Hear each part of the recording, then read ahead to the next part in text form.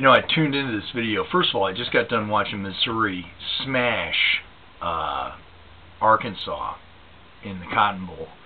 But uh, I tuned in this video because it says Coach Mark Mangino, the coach of Kansas, KU. I think he's Coach of the Year this year, which he should be. Um, it says Coach Mark Mangino explodes.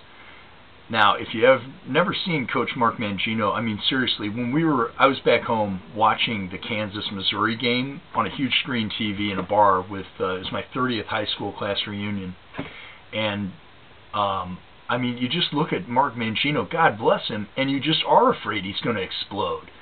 You know, you're just afraid if he accidentally bumped into something sharp, that that would really be it, like Mr. Creosote, you know, at the end of I think it's the uh, the Meaning of Life, the Monty Python film, where he just has one thin wet wafer, and he literally explodes. So that's what I tuned in to see. But what I did see was one of the greatest performances by a coach. Um, this is the kind of thing I admire, and I'm I'm a Missouri guy, but I am now uh, rooting for Kansas uh, in every game except for Missouri, maybe, because uh, what he says to this kid at the end of this boneheaded entry into the end zone is beautiful, and it's what football is all about. Football is one of the the ultimate team sports.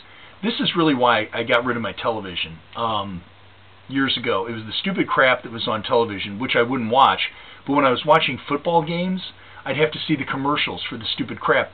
So I, but I kept watching TV for years because of, uh, you know, football was on. But after a while, these wide receivers and these shenanigans in the end zone, um, it it started with Randy Moss, like deciding when he wants to play and when he doesn't want to play.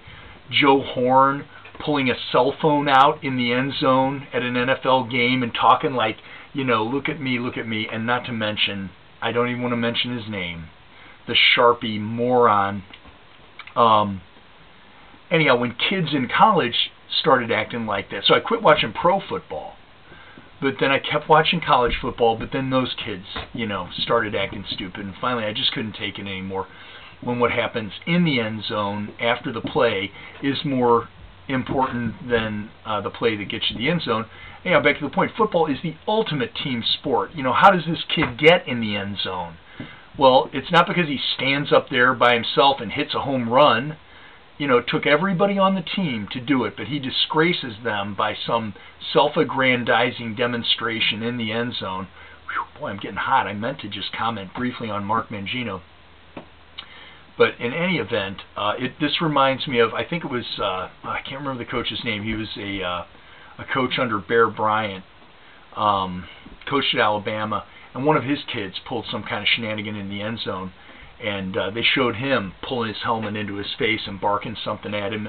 And I heard at some point that he said, "It's the end zone. Act like you've been there before," which I thought was really cool.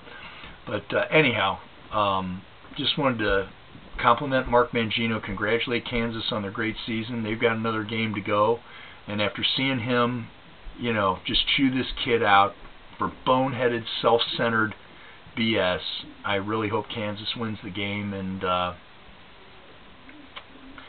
that's it.